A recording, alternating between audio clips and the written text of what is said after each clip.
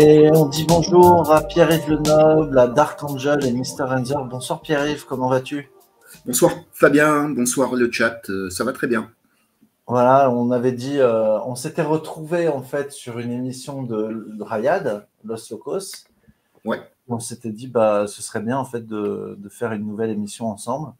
Donc, euh, Mr. Enzer est euh, particulièrement, qui est un ami, est particulièrement motivé pour nous écouter tous les deux. Oh, bah, c'est cool, hein. salut à lui. Et puis euh, Dark Angel que je connais pas trop, qui est là aussi. Et puis Bah, bah, lui, des- c'est un habitué de, de ma chaîne. quoi. ah d'accord. Et puis bah tous ceux qui sont euh, qui sont euh, à l'écoute là aujourd'hui, on va on va discuter de René Guénon, sujet que j'ai commencé à aborder un peu en- dans mes lectures, euh, que tu connais beaucoup mieux que moi. Donc euh, voilà, on va en discuter. Ah, on a France la Suisse qui est là. Alors elle n'était pas prévue. Euh, je vais la faire monter pour voir ce qu'elle euh, ce qu'elle veut nous dire. Mais euh, à la base, c'est un- une discussion débat entre Pierre-Yves et moi. Bonsoir France la Suisse. Salut Fabio, ou rebonsoir. Rebonsoir. Salut Pierre-Yves. Ouais, Bonsoir. j'écoute- J'écoute de temps en temps tes, tes lives. Par contre, c'est très difficile de pouvoir euh, euh, venir euh, discuter et, avec toi en live, c'est dommage. Ah bon? Mais j'ai inauguré un format où je, je laisse le lien StreamYard euh, euh, dans le chat. Et je, devrais, je vais, je pense, en faire une soit demain, soit après-demain, tu vois. Donc, euh, c'est juste que je les annonce pas. Et c'est vrai, mes libres antennes. Euh, sinon, euh, si tu veux passer dans les libres antennes, euh, je, peux, je peux donner mon mail hein, et tu m'envoies un mail et je te- je t'envoie dans la liste quand j'envoie le lien pour la prochaine libre antenne. Tu vois ce que je veux dire? Je fais un petit filtre en fait. Ouais. si tu veux passer, c'est sans problème. quoi. Bah, le, le problème, c'est que effectivement, un, de tes modos m'avait parlé du- de l'histoire du mail, mais j'ai jamais, jamais réussi à trouver un mail, même sur ton, ton site web, Bah, tiens, bah, regarde, je te le mets dans le, dans le chat privé. Enfin, non pas que ça soit super. comme ça. Voilà. Et puis euh, tu m'envoies un petit mail et, euh, et, j'en fais une euh, samedi, euh, samedi qui vient là, de, de Libre Antenne. Donc si tu es là samedi, euh, tu es la bienvenue. Ok. Et sinon, Fabio, tu voulais faire juste, euh, juste avec euh, Oui, ou- bah, au- dans- au moins dans une première partie, en fait, on voudrait traiter de, de, bah, de René Guénon. Puis après, on peut ouvrir le débat sur, euh, sur le chat. Et puis, euh, si vous voulez participer, si vous voulez monter, vous êtes les bienvenus, bien sûr. hein. ça, peut, ça peut tourner en libre antenne. Et déjà, c'était de, de faire un petit point de présentation tous les deux, à moins que tu l'aies lu et que tu veuilles nous en parler. Non, je vais laisser cet honneur à Pierre-Yves parce que non, non, non, non, non, parce que là-dessus, je suis franche. Moi, j'ai pas eu encore le, temps. euh, et d'ailleurs, je l'ai découvert très, très, comment dire, euh, tar- tardivement. Mais je, me suis un minimum intéressée parce que ce qui m'intéresse aussi, c'est l'histoire, euh, l'observation du symbolisme à travers les, civilisations. Donc, je vais me faire un plaisir de, vous écouter, puis je rebondirai peut-être après quand, euh, quand j'aurai le droit, euh, donc, donc quand, quand j'aurai le droit de, de pouvoir euh, participer après. Yes, bah écoute, pas de problème. N'hésite pas à participer aussi dans le chat pour euh, poser des questions et puis euh, on va, on va développer quoi. Ouais, ouais, j'écoute, j'écoute et je vous dis à tout à l'heure. Je vous écoute attentivement. Ok, eh ben, à tout à l'heure. Alors, euh, oui, donc on va commencer. Euh, alors moi, j'ai commencé à lire sa, son introduction aux doctrines hindoues, Oui. euh, qui est très intéressant parce que, Oui, comment dire, il y a, il y a une remise, il y a tout un volet, en fait, il y a un énorme volet dans ce bouquin qui est consacré à remettre, comment dire, à remettre à jour le logiciel en quelque sorte en, en cassant les, les, les fondamentaux de la pensée occidentale. Euh, il se veut euh, quelqu'un qui présente les doctrines hindoues par rapport à ce qu'elles sont et non pas par rapport à la façon dont les occidentaux les pensent. Et du coup, on a l'impression qu'il il fait une œuvre de destruction massive de la pensée occidentale, même de la philosophie. C'est assez Oui. surprenant. Oui, c'est vrai, je suis assez d'accord. Mais alors, c'est rigolo que tu abordes ce point directement parce que c'est un des points avec lequel euh, j'ai un peu de mal euh, avec l'œuvre de, René Guénon. C'est ces histoires que les élites spirituelles euh, occidentales doivent, donc par le haut, s'allier et presque prendre exemple sur les élites orientales. Et moi, je vois pas ce que c'est les élites orientales ni les élites occidentales dans, dans ce monde où tout est mélangé. C'est-à-dire que je pense qu'on est à la fin d'un cycle mais que le Kali Yuga, il, a peut-être été initié par l'Occident, mais maintenant, on est, euh, en tout cas en 2024, il a touché la planète entière et je pense plus du tout qu'il y aura de renouveau spirituel, euh, en tout cas dans, dans, ce cycle. Quoi. Je pense que. Mmh. Mais quand, quand, tu parles de cycle, tu veux dire euh, qu'est-ce qui pourrait, d'après toi, provoquer un changement de cycle? C'est uniquement des dates ou bien il y a et une configuration astrologique ou bien il y, a, quelque chose de politique? Non, disons que tout ce qui est humain et euh, on va dire. Euh, tiens, attends, je vais fermer le, ma porte parce qu'il y a des, avions en réaction. Oh, punaise, la vache. c'est la guerre. C'est le monde moderne.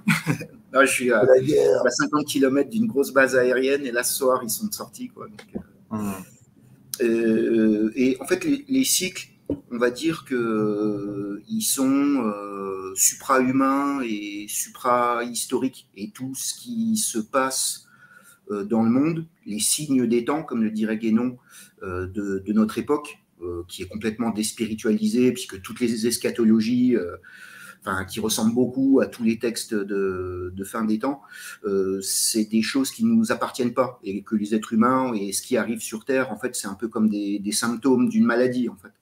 Hmm. Il n'y a pas de Et ce qui pourrait, excuse-moi de te couper, euh, parce que ta question c'était qu'est-ce qui pourrait euh, amener un changement de cycle, c'est un cataclysme. Quoi. Alors, quelle que soit la forme que peut prendre le cataclysme, d'ailleurs, on le voit dans les textes sacrés, enfin dans les récits anciens, ça peut prendre la forme d'un déluge, de pluie de feu, ça peut être une autodestruction de l'humanité, moi, je vois plutôt un espèce de déluge psychologique, c'est-à-dire euh, c'est la nature humaine et l'humanité qui dégénère, quoi. Et on va faire n'importe quoi, quoi. On scie la branche euh, sur laquelle on est assis, quoi. Ouais, mais ça, on voit, c'est le, c'est l'extrémité du Kali Yoga, quoi. C'est le, oui, oui, l'effondrement sur soi, quoi. L'humanité qui dégénère. C'est vrai. Et par contre, il faut pas être euh, messianique ou trop apocalyptique, c'est-à-dire que les cycles, ils sont gigantesques et on ne sait pas bien, les, les, dates de cycle, c'est surtout euh, symbolique, mais on voit quand même qu'on est à la fin d'un grand cycle, mais ça pourra prendre encore peut-être quelques centaines d'années, euh, voire quelques milliers d'années, ce qui est rien au regard de, l'histoire universelle. Est-ce qu'on a connu un paroxysme au XXe siècle pour toi de, de civilisation? Oui, oui, oui. Et ça, justement, bah, si tu lis Guénon, ça, il en parle dans, dans le livre que je te conseillerais, qui s'appelle Le règne de la quantité. C'est le livre qui m'a le, plus parlé de, de, René Guénon. Et lui, il parle d'une. Euh, que, en fait, en gros, le, matérialisme, en fait, c'est une phase de solidification extrême. Et qu'après la solidification euh, vient le temps de la décomposition et des feux follets et je pense que la solidification extrême, elle a été atteinte, si on veut, hein, pour donner des, dates symboliques, elle a été euh, atteinte après la Deuxième Guerre mondiale, tu vois. Et après la Deuxième Guerre mondiale, quand on rentre dans ce qu'on appelle la, société de consommation et tout ça, là, je pense qu'on est déjà dans la, période de, liquéfaction. Euh, on a atteint, je pense, le, le matérialisme absolu, quoi. Et on voit d'ailleurs que que depuis toutes les sciences, les philosophies, euh, euh, elles sont euh, volatiles. On parle d'un monde liquide, tu vois, en ce moment. Quoi. Ouais, ouais, ouais. Qui, ouais, qui, qui, fait, qui va de haut en bas, quoi. ouais, voilà, je suis complètement d'accord avec toi.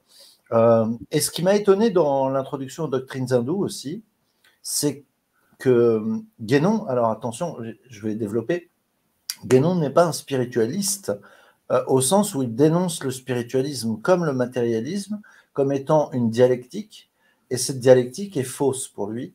Euh, il n'y a pas vraiment de dialectique, en réalité, ce sont des apparences, parce que le spiritualiste, pour pouvoir couvrir l'ensemble des domaines de la science, doit comprendre la matière et doit aborder la, la matière dans son spiritualisme, et il en va de même du matérialiste pour l'esprit. Donc finalement, en réalité, euh, c'est une fausse dialectique. Et donc, euh, c'est un, un, mensonge de fonctionner comme ça. Donc, en fait, il Parce que ça, ça, s'adresse à deux domaines euh, euh, différents. C'est-à-dire que le matérialisme, bah, s'il s'occupe de, de, la matière, mais il va oublier le monde subtil. Et le spiritualiste, il va voir que du subtil partout en oubliant le monde de la matière. Donc, c'est un peu un oui, c'est même pas une contradiction, c'est que les deux ne, parlent pas de la même chose, quoi. Tu vois ce que je veux dire C'est un peu comme aujourd'hui les débats euh, entre zététiciens et un catho ou un musulman. Tu vois, de toute façon, ils, ne pourront jamais se mettre d'accord. En fait, ils parlent pas de la même chose, en, gros. Ben, c'est ça. Tout à fait. Et puis il y a aussi l'aspect euh, dialectique, euh, pas l'aspect dialectique, pardon, mais l'aspect, ce qu'ils pensent de la philosophie et de l'ontologie. Alors là, j'étais très étonné pour lui, euh, en fait, la métaphysique, qui pourtant a été euh, une expression, un terme qui a été forgé dans le cadre de la philosophie, euh, la métaphysique transcende complètement la philosophie et même l'ontologie. C'est-à-dire que une science qui viserait à connaître les choses de l'esprit par le raisonnement n'est pas apte à comprendre les choses de l'esprit. Donc, L'ontologie elle-même, qui vise à comprendre l'univers par le raisonnement, n'est pas apte à comprendre l'univers. Oui, c'est vrai. C'est vrai que ça, c'est la pensée de Guénon. Bah, parce qu'en fait, en gros, euh, tu sais, sa, pensée, enfin, quand je dis Guénon, mais c'est un peu toute l'école pérennialiste et euh, toutes les, spiritualités. Tu sais, on divisait le, le, monde en trois, en trois grandes régions, tu vois, en monde physique, en monde psychique et en monde spirituel ou euh, métaphysique. Et euh, ce monde métaphysique pour euh, Guénon donc, est extra-cosmique. C'est un, peu, le monde des idées euh, platoniciennes, hein, ou des essences divines, des noms divins, hein, comme en islam par exemple. Et ce monde, il l'appelle la manifestation informelle, donc sans forme, qui n'a ni commencement ni fin, qui est presque en suspens. C'est des, principes universels et inchangeants. Et euh, ensuite vient le, deuxième monde, le monde subtil ou psychique, et ensuite le monde physique, et le monde bah, donc euh, psychophysique ou psychosomatique est intracosmique dans le, dans le monde de la nature. Et pour Guénon, la philosophie reste dans les domaines physiques et psychiques, on va dire. Alors, pour situer René Guénon, pour répondre à François Suisse, donc il naît à Blois en 1886 et meurt en 1951 au Caire en Égypte. Euh, donc voilà, et puis euh, bah, il a commencé à écrire, euh, je pense, assez jeune. Oui. C'est un ancien franc-maçon Il a toujours été. Il a même quand il s'est converti à l'islam, il était toujours franc-maçon. Il a toujours été jusqu'à la fin de sa vie. enfin, en tout cas, moi, je ne connais pas spécifiquement sa, biographie à ce niveau-là, mais sur les photos qu'il prend au Caire, il prend toujours des poses maçonniques, quoi, en tout cas. D'accord. Bon. Il l'a jamais euh, critiqué. Il a, il, a critiqué une, les, dérives de la franc-maçonnerie, mais en tant qu'institution, il a toujours euh, euh, défendu. Et tous ses écrits sur la franc-maçonnerie, c'est des, écrits doctrinaux. donc, tu vois, c'est un spécialiste en tout cas. On a Léo, je ne sais pas comment dire son nom de famille.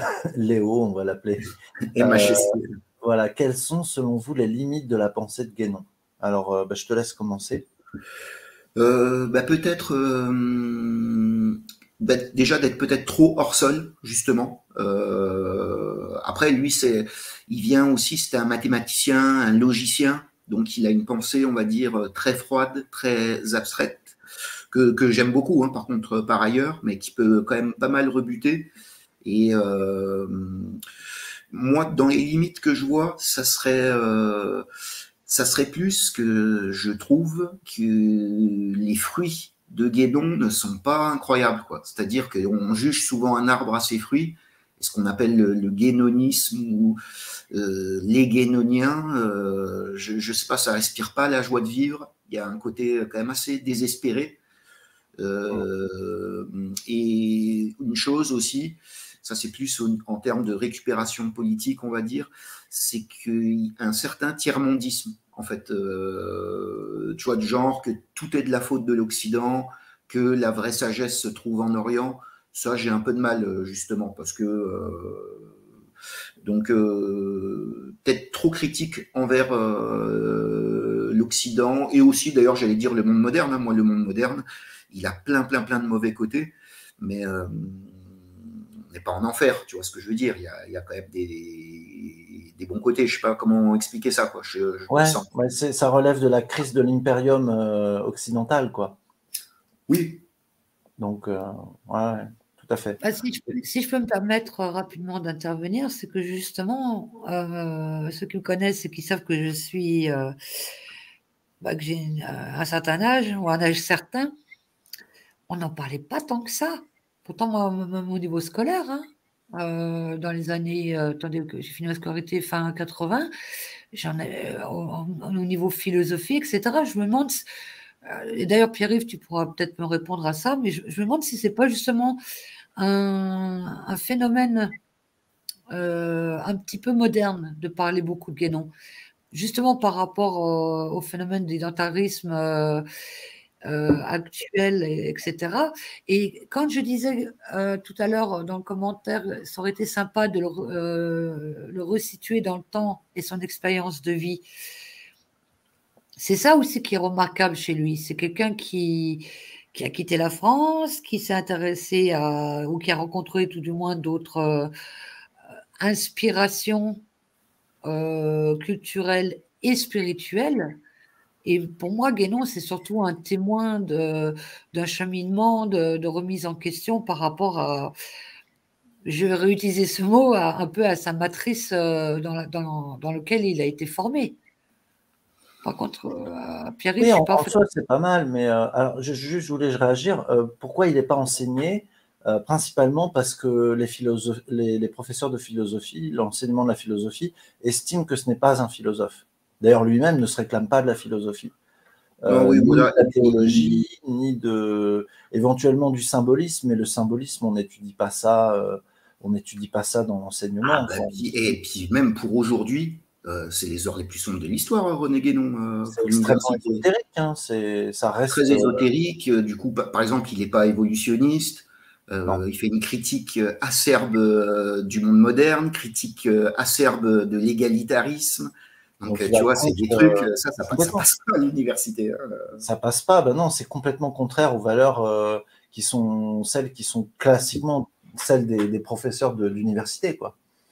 Donc, ils n'ont pas envie de l'enseigner. Moi, c'est comme une. J'étais, j'étais dans une fac euh, en, en sociaux. Quand on avait nos cours d'économie, le prof a carrément dit un truc du genre Nous n'étudierons pas Marx, car Marx n'est pas un économiste, c'est un, c'est un sociologue. Point barre et on n'a pas étudié du tout la théorie marxiste en économie. Voilà, comme ça, c'était réglé.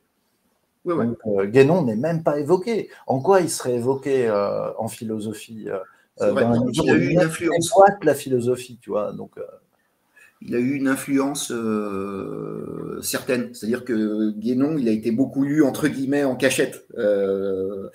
Et euh, bah déjà, il y a toute l'école euh, pérignaliste qui, lui, on pourrait dire, c'est le chef de file, euh, Guénon. Mais je sais qu'il a, a beaucoup influencé certains auteurs surréalistes. il a influencé Barjavel, par exemple, René Barjavel, qui était un gros lecteur de Guénon. même, je crois que Charles de Gaulle était un grand spécialiste de René Guénon. Enfin, tu vois, c'est quelqu'un quand même qui n'est pas mis en avant par la, bah, le mainstream quoi, euh, universitaire ou philosophique, mais c'est quelqu'un qui a quand même une, influence de fond hein, quand même. C'est-à-dire que le, fait de revivifier les racines avec la tradition, c'est quelque chose qui intéresse, qui interpelle. On ne va pas non plus cacher qu'à son époque, encore, euh, on était encore emprunt, emprunt d'orientalisme, parce que peut-être que l'Orient nous paraissait moins sombre, euh, sans doute surtout euh, sous l'angle colonial. Euh, mais au final, euh, au final, effectivement, on peut se poser la question est-ce que c'est c'est la voie? Par contre, moi, je trouve très bien de s'intéresser effectivement aux autres cultures parce que c'est le meilleur moyen de confronter sa propre pensée avec d'autres pensées, de, l'élever, de l'élever en oui, bien sûr, bien sûr. Non, ce que je critiquais chez Guénon, c'est son, son anti-occidentalisme quand même qui ressort dans les pages.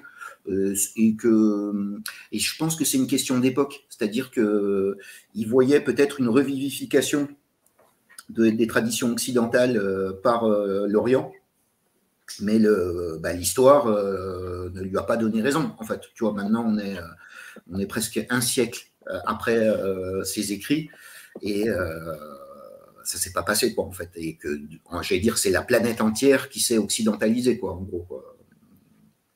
On a une autre question de Léo. Euh, si la tradition est vivante par essence, ne peut-elle pas s'adapter à la chute du monde moderne? Alors, je ne sais pas où il veut en venir. Est-ce qu'il faut que la tradition chute aussi? C'est quoi le. Ben euh, non, mais c'est l'inverse en fait. C'est que quand il n'y a plus de tradition, arrive la chute en fait. En gros, euh, en fait, en gros sur Terre, tout est soumis à la loi de, l'entropie, de, de, la chute ou de l'éloignement des dieux.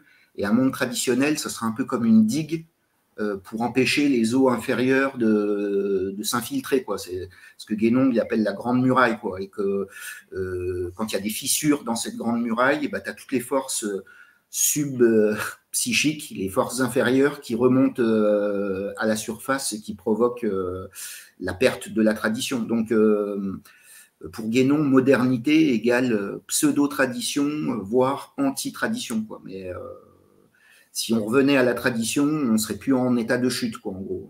On serait en état de lutter contre la chute, quoi. Hmm. Oui, c'est ça, c'est la. Comment dire Mais là, moi, là, justement, là où je ne suis pas forcément raccord avec euh, sa vision, qui me paraît peut-être un petit peu euh, euh, cristallisante de la tradition, euh, c'est que on peut très bien parler des traditions. On ne peut pas vraiment comprendre euh, la, diversité des voies prises par l'humanité si on ne voit pas qu'il y a eu ce qu'on appelle des transvaluations chez Nietzsche, c'est-à-dire des, des, euh, récupérations et des, des transvasements dans un autre contenu où on récupère du contenu d'avant et on, change les valeurs, on change les priorités, on change l'angle pour donner lieu à une nouvelle culture à partir de là. Et ça, ça a été constant et, et, universel. Oui, ça, euh, je suis, assez d'accord. Mais c'est que, je ne sais pas comment dire, le, parce que quand il dit la tradition, et un monde traditionnel, c'est-à-dire qu'il y a des patterns, il y a des choses qui se retrouvent partout euh, sur Terre. Et la, plus importante pour Guénon, c'est la soumission euh, du temporel au spirituel. C'est qu'il faut que ça soit une caste sacerdotale, donc euh, que ça soit des chamans, que ça soit des prêtres, enfin tu vois ce que je veux dire, des mages. un monde traditionnel est géré en haut par la caste sacerdotale. Quoi. Et que Ensuite, tu sais, euh, ben, il y a la, révolte des kshatriyas, la révolte du temporel sur le spirituel, et puis au fur et à mesure du temps, c'est des éléments toujours plus inférieurs de la société qui, viennent à la tête de la pyramide euh, sociale. Donc, euh, ce qu'il appelle un monde traditionnel, par exemple, pour lui, le dernier monde traditionnel, c'est le Moyen Âge, mais le Moyen Âge, c'est 1000 ans, et en fait, ce qu'il veut dire, c'est le beau Moyen Âge, c'est le Moyen Âge des cathédrales qui a duré 200 ans, quoi, même pas. Quoi. Ouais, tout à fait. Mais je vois ce que tu veux dire. Par contre, c'est effectivement, euh, bah, par exemple, le, Moyen Âge, pour moi, c'est un espèce de pagano-christianisme. C'est une adaptation des vieux cultes païens au euh, christianisme, par exemple. Euh, tu as, ça partout. Ça, ça, je suis d'accord avec toi. Hein. Par exemple, la fameuse transvaluation nietzschéenne, qui, a lieu à partir de Spinoza, c'est de remettre la puissance au cœur de la société comme une vertu. Euh, ce que néanmoins euh, la, modernité et la post-modernité euh, nous masquent derrière l'ambition, derrière la, recherche, la conquête du pouvoir, la conquête de la, de la, de la fortune et, et, la négligence vis-à-vis des valeurs traditionnelles de la famille, etc. Mais alors que la puissance chez Spinoza, c'est pas du tout ça. et, chez Nietzsche non plus d'ailleurs, hein. il a été trahi également par ses, par ses suiveurs, hein. euh, notamment ceux qui ont suivi sa sœur. Euh, donc euh, il y, a, y, a une complexité en fait dans la pensée de Nietzsche qui est, qui est rarement abordée. Il faudra que je le lise pour pouvoir vous en parler bientôt. J'aimerais bien lire Nietzsche, ça sera peut-être une de mes prochaines lectures. Ouais, ben, il y a deux semaines, moi j'ai fait une émission sur Nietzsche. Moi aussi, je m'y suis mis il n'y a pas très longtemps. Et j'y trouve des choses très intéressantes. Enfin, c'est c'est un peu, euh, je sais pas comment dire, il y a un peu à boire et à manger, quoi, on va dire. Il y a des choses lumineuses et des choses où c'est peut-être moi qui ne comprends pas, mais je vois pas où il veut en venir, quoi. Tu vois ce que je, je, vois plus un poète de la pensée qui a quelques illuminations plutôt qu'un vrai philosophe, en fait, euh, Nietzsche. Oui, oui. Il est très influencé par ses lectures et, euh, et, il construit sa pensée petit à petit, mais on a l'impression qu'il aboutit nulle part. oui, oui. Mais c'est un, un beau, c'est un, un, bel auteur. Ce qu'il écrit euh, est très, très lumineux, très. Ah non, puis il y a des concepts qui sont super intéressants. Hein. L'amour fatile, euh, même son concept de surhomme que, qui est souvent mal compris est très intéressant, hein, justement. Ça rejoint les, idées. Sont, il lui aussi était très influencé par l'Orient, Nietzsche. Ça rejoint les, les traditions de, l'homme véritable, de l'homme transcendant. Oui, il avait les, les, premières traductions des tablettes, euh, euh, enfin de l'Avesta, je crois, euh, pour pouvoir avoir le texte, ou de, de je sais plus d'où, mais enfin, il connaissait les gathas de, Zarathustra, quoi. Hein. Oui, oui. c'est pas rien. Hein. C'est là où je voulais rebondir sur ce que tu as dit, parce que tu dis on a, a l'impression de ne pas trop savoir où il veut arriver Nietzsche. Mais si, Nietzsche, euh, d'ailleurs, il y a, euh, une, citation qui est très connue de lui, c'est quand même euh, Dieu est mort, vive, Dieu. Je ne sais pas s'il dit vraiment ça comme ça, parce que comme disait Pierre-Yves, quand il parle justement de se transcender du surhomme, c'est ça, c'est en fait d'après mes souvenirs, il le dit peut-être pas aussi directement, mais oui, il faut, sortir de la croyance ou des croyances pour. Euh, euh, ben, c'est un peu comme euh, fait Salomon sur sa chaîne. Hein, il faut sortir de certaines croyances pour aller plus loin. Et justement, et lui, il parle plus de Dieu quand il dit Dieu est mort, vive Dieu, c'est pas de, du, Dieu des religions et des dogmes, mais c'est peut-être quelque chose, comme disait Pierre-Yves tout à l'heure, euh, quand vous parliez de Guénon, c'est quelque chose euh, bah, du, côté spirituel, en fait. C'est-à-dire que euh, Nietzsche, moi, moi j'avais ressenti un peu comme ça à l'époque, j'avais ressenti que justement, c'est quelqu'un qui remet beaucoup en question le dogmatisme religieux et qui, qui, se, qui se bat, parce qu'en plus, il ne faut pas oublier que c'était aussi les années de. Euh, c'était en pleine euh, période de spiritisme, des choses comme ça. Donc, euh, moi, j'avais ressenti comme ça à l'époque. Quelqu'un qui renie le côté dogmatisme de, de, la religion, mais qui, qui, conclut à la fin, quand même, quelque part, qu'il faut. Il y a peut-être comme un, un domaine spirituel ça renvoie un peu à, Maître Eckhart. Je ne parle pas de Eckhart Tolle, hein. je parle de Maître Eckhart, qui est un philosophe scolastique du Moyen Âge, qui parlait de trouver Dieu au-delà de Dieu.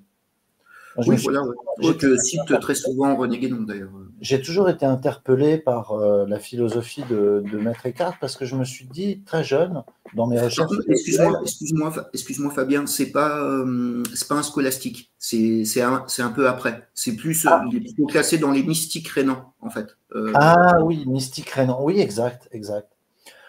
et justement, j'ai toujours été interpellé par rapport à, à cette question quand à l'époque où j'étudiais Maître Eckhart notamment l'imitation de Jésus-Christ, c'est euh, en fait, si on voit euh, Dieu comme euh, avec une personnalité, une conscience, une personne, en fait, comme une personne, cette personne est soumise de fait à une nature. Et cette nature qui la détermine, c'est la déité. Donc ça veut dire que la déité, en tant que principe, elle est première avant Dieu lui-même. Ça n'a pas de sens.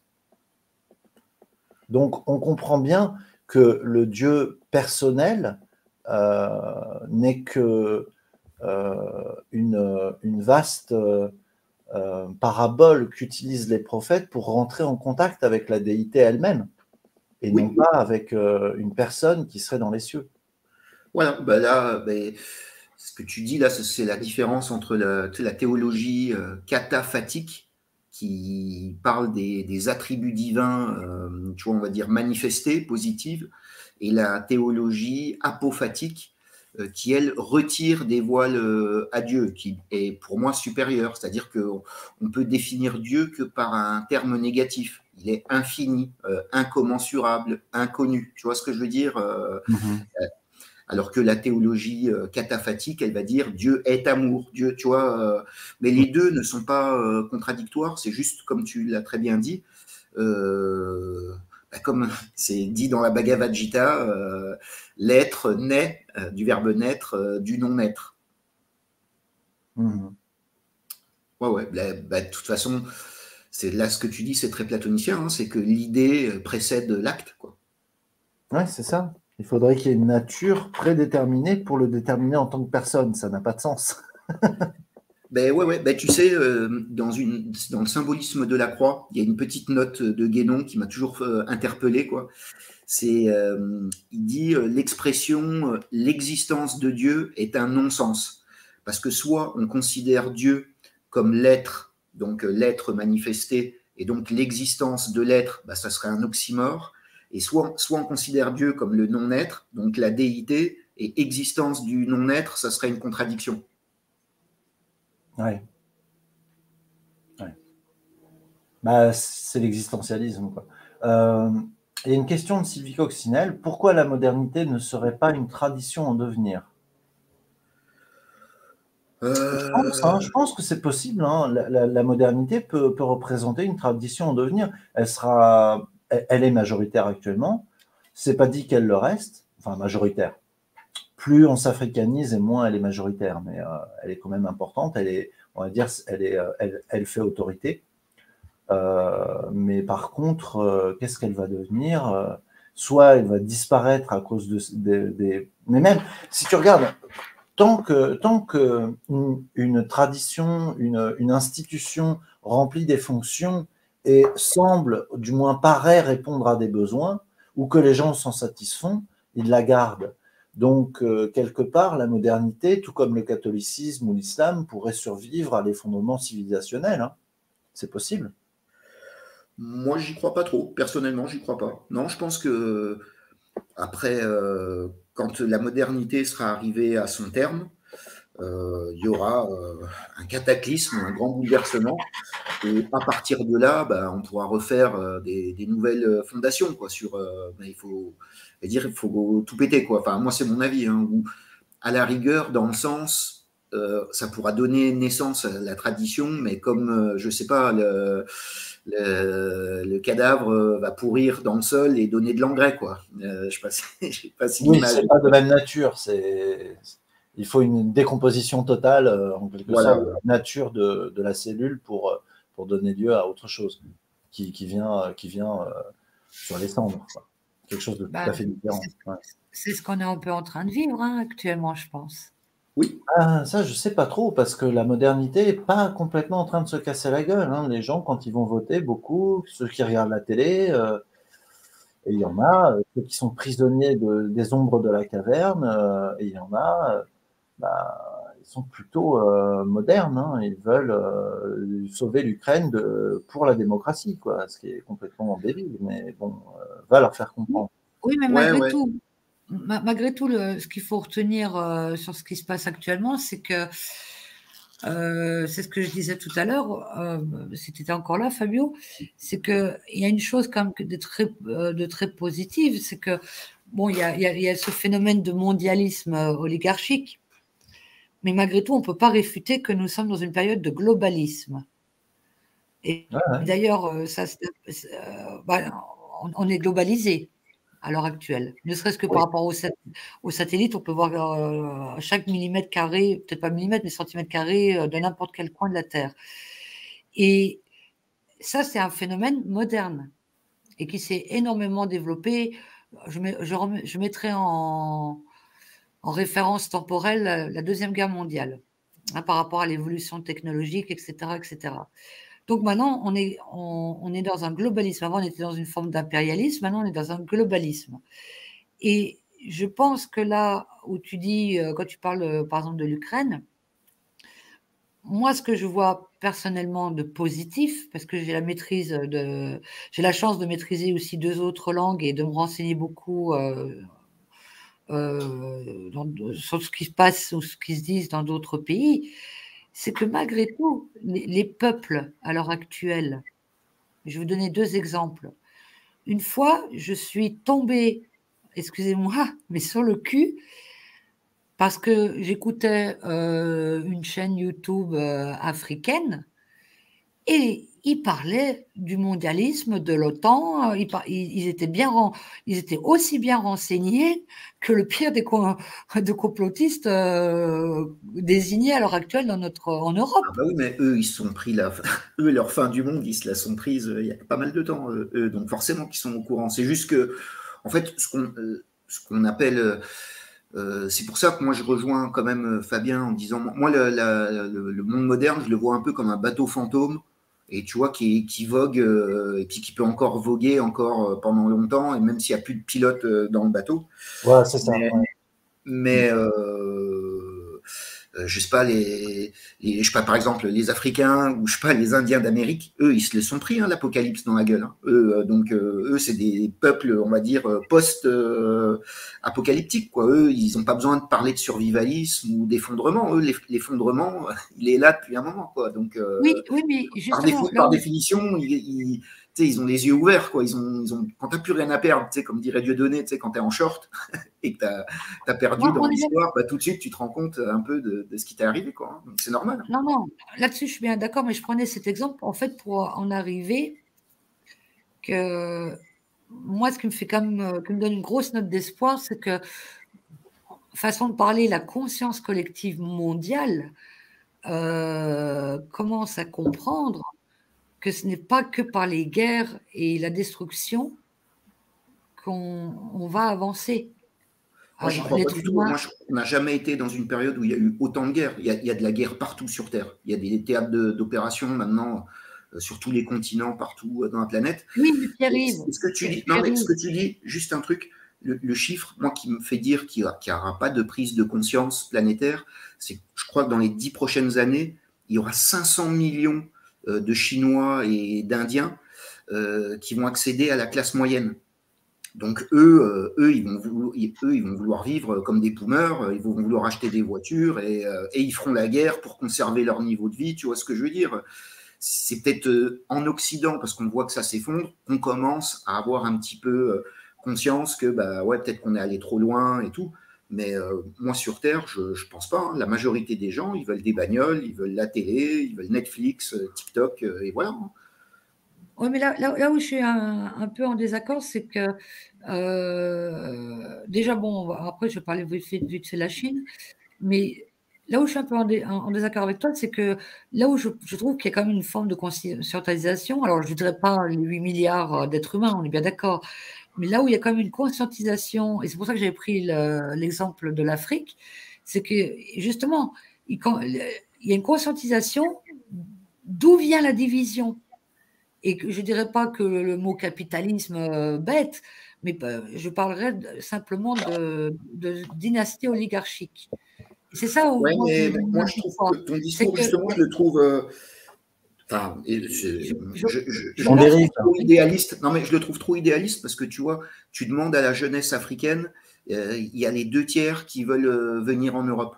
Euh, les, jeunes africains au Nigeria, tout ça. Tu, tu, il y a des sondages là-dessus. La majorité, ils veulent monter en Europe. Mais ils veulent monter en Europe, c'est pas pour élever le niveau de conscience. Ils viennent en Europe pour avoir un niveau de vie, consommer et jouir entre guillemets euh, de ce capitalisme. Donc, tu, et, je, et, je, les emblâme pas du tout. Hein, et ceux qui restent là-bas chassent les Français à grands coups de pelle dans la gueule, quoi. Donc euh, bon. on, a, complètement dérivé du sujet. Il faudrait qu'on se recentre. C'est la question de Sylvie qui nous a complètement absorbé. On est passé complètement à autre chose. Je crois qu'on nous attend sur René Guénon quand même ce soir. Je ne sais pas ce que vous en pensez. Mm. Euh, il y a cette question de Léo également. Euh, sur la modernité, finalement, la modernité serait un effondrement du cadre collectif, la tradition, permettant une potentielle évolution individuelle en dehors du cadre. Le chaos dissout la masse et exalte l'exception. Pierre-Yves? Euh, Moi, c'est ce que c'est mon avis. Je pense tout à fait euh, pareil. Mais donc, du coup, c'est garder des valeurs traditionnelles, essayer de les incarner individuellement. Et comme je le dis tout le temps, essayer déjà d'être un bon père, euh, s'occuper de ses parents, un bon mari, euh, un bon voisin, c'est déjà, déjà pas mal. Quoi. Salut Vaudou, content de te voir, ça fait longtemps. Tu pas là souvent, ça fait plaisir. Euh, Zarathustra qui est de retour, Zarathustra 2, bonsoir. Cellulose magique, bonsoir. Justement, pour en venir à Guénon, et quand euh, il fallait le resituer, euh, et surtout par rapport à ce que tu viens de dire, Jean-Pierre-Yves, euh, c'est que justement, moi, ce que j'ai trouvé de particulièrement intéressant chez Guénon, c'est que en ayant découvert d'autres d'autres théologies, disons voir ça comme ça, il, a remarqué justement le, symbole qui liait toutes ces théologies. Et en plus, euh, c'est pas qu'en plus euh, que le, les, musulmans. Il, parle, hein, il va aussi quand même euh, dans l'hindouisme, et c'est l'hindouisme au niveau kilométrique et historique, c'est comme assez éloigné de l'Europe. Hein, c'est pas comme la religion musulmane qui est, qui est proche de nous quelque part. Et ah c'est ça. Non, non, c'est quand même non parce que pour enfin euh, non, parce que c'est pour lui, c'est il y a un, pas comment dire, un socle indo-européen quand même, même s'il n'emploie pas le, le, terme. Mais... je veux dire, pour, pour, Guénon, l'hindouisme, c'est un peu la matrice de ce que donnera les religions grecques ou les religions païennes en Occident. Quoi. Oui, oui, oui. Mais attention, quand je dis ça, c'est que par, je, dis par rapport à l'époque, euh, la religion musulmane, au niveau géographique, elle est quand même beaucoup plus proche que la, la religion hindou, hindoue. Hein, par rapport à, à son époque. Hein. C'est comme euh, euh, voilà, c'est par rapport à ça. Mais justement, et c'est ça que moi j'ai beaucoup aimé chez Guénon, c'est c'est que quand euh, ce que tu viens de dire, c'est tout, je suis tout à fait d'accord avec toi. Mais c'est quoi le, le, fil commun de tout de quand tu parles de hindou européen C'est le symbolisme. Et c'est pour ça que quand on parle de modernité et euh, la boucle est bouclée, c'est que je pense que, alors oui, c'est peut-être pas la majorité de, l'humanité, mais quand je disais que maintenant on prend conscience qui nous divise, mmh. donc, euh, tu sais, euh, finalement, peut-être que la fin du mysticisme que représente la modernité, ça a enlevé la peur sur les individus, et depuis qu'ils ont plus peur, ils font n'importe quoi. C'est peut-être ça aussi le problème. Oui, le, bah, tu sais ce que tu dis là, Fabien, c'est la phrase du personnage de Dostoïevski, de, l'anarchiste, qui dit euh, si Dieu est mort, euh, alors tout est possible, quoi. Tout est permis, quoi. Hmm. Et effectivement, c'est un peu. Oui, oui, euh, tout à fait. Mais quand tu parles de, symbolisme, oui, moi, c'est ce qui m'a le plus intéressé, d'ailleurs, dans l'œuvre de René Guénon. Moi, j'y suis venu surtout pour, euh, pour ça. Moi, c'est ce qui m'intéresse peut-être le plus, le symbole. Donc, oui, bien sûr. Et le fait de retrouver. Euh, je me permettais de, de, te couper. C'est pour ça que je me permettais, quand je disais on est en plein pourrissement, parce que là, maintenant, bah, la, je veux dire, le, summum du pourrissement, c'est euh, entre guillemets le wokisme, tout du moins la transsexualité affirmée, parce que le wokisme là-bas, c'est un peu autre chose. Maintenant, le wokisme, c'est devenu un peu un fourre-tout hein, de, de, plusieurs euh, phénomènes sociétaux. Mais là, là où on est au, comble du pourrissement, justement, c'est par rapport, et puis surtout ce qui se passe en France, parce que je vous rassure, hein, c'est pas aussi extrême, euh, ou tout du moins perçu, euh, bon, bien, bien qu'en France, on en parle beaucoup, mais il ne se passe pas comme grand-chose, alors que ça s'était beaucoup plus développé, bah, surtout chez les pauvres Canadiens, hein, pour l'instant, au niveau des lois. Euh, les États-Unis, c'est partagé, mais là, bon, euh, pour revenir dans le phénomène politique, rapidement, euh, ça va se remettre très rapidement en place par rapport à l'avenir politique prochain des États-Unis. On n'est pas dans un live politique. Est-ce que ouais, ouais, oui, moi, je m'en fous complètement. je faisais juste justement, Guénon, il en, il en parle hein, du, justement sur ce genre de, de thématique. il avait déjà tout prévu il y a 70 ans, donc voilà. Et c'est ça que, c'est ça que je pense que, c'est là où je reste optimiste, c'est parce qu'on va dépasser cela, parce qu'on est en train de, de rechercher certains symbolismes. Bah, moi, je pense pas. Moi, je pense que c'est vraiment une minorité et que la majorité des gens euh, s'en foutent et que euh, ce qu'ils veulent, c'est consommer et avoir plus de confort et c'est tout. Bah oui, mais justement, le, le symbolisme, ça n'intéresse personne. Ça n'intéresse personne. Ah, je pense que bah, d'un côté, si, parce que tu vois bien quand même qu'il y a eu un phénomène de, convertissement euh, euh, de, gens justement nés catholiques, ou tout du moins euh, élevés dans la religion chrétienne, qui se retournent justement vers le, Coran à cause de ça, parce que la, notre société très très matérialiste et laïque en France, hein, particulièrement en France.